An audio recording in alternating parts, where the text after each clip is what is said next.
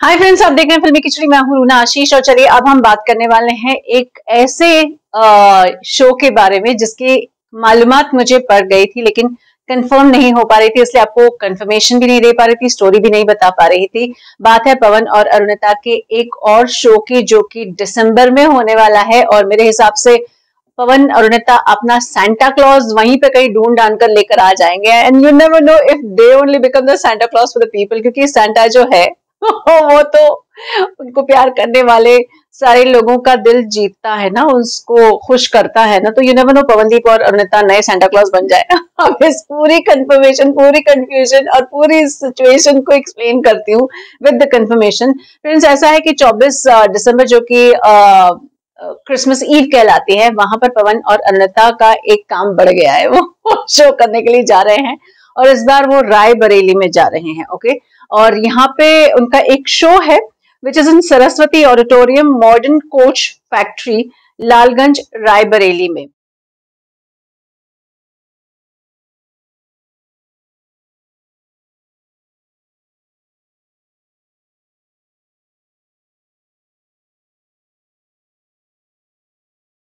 अब फ्रेंड्स ये जो शो है, उसकी डिटेल्स मेरे पास अभी तक ये आई है कि बर्नेट होम्योपैथी प्राइवेट लिमिटेड करके एक कंपनी है, जिसने कुछ स्टूडेंट्स को और डॉक्टर्स को एक कॉन्फ्रेंस के लिए बुलाया है।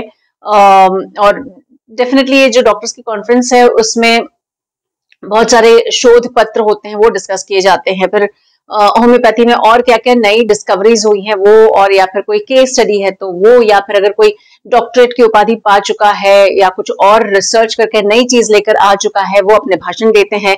और अपनी बातें रिसर्च पेपर भी सबमिट करते हैं। तो मेरे हिसाब से ये ऐसा सा एक समारोह है और इसमें इनफैक्ट ये भी लिखा है कि जो स्टूडेंट्स हैं वो इसमें रजिस्टर करवा ले और ये फ्री रजिस्ट्रेशन है और उसके अलावा जो है उसमें ये है कि पवनदीप और अरुणता यहाँ पर शो करने के लिए आने वाले हैं।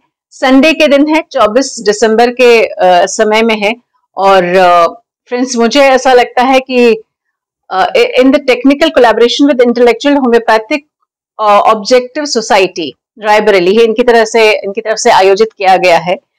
और चलिए भाई, मेरे को तो ऐसा लगता है जो भी जितने भी डॉक्टर है, वो तो खूब पढ़ाई में लगे रहते हैं, चाहे वो होम्योपैथी के हो, चाहे वो एलोपैथी के हो, या वो आयुर्वेद के हो अलग अलग तरीके की स्ट्रीम्स हैं मेडिकल की।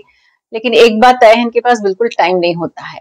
एट द सेम टाइम जब ये होम्योपैथी के डॉक्टर दिलों के डॉक्टर को, यानी कि संगीत के डॉक्टर्स को सुनेंगे, दिलों के डॉक्टर इसलिए कह रही हूँ, पवन और अरुणिता को तो मेरे हिसाब से इनके ऊपर अगर जो स्ट्रेस है वो कंप्लीट निकल जाएगा, क्योंकि डॉक्टर्स बड़े स्ट्रेस में रहते हैं।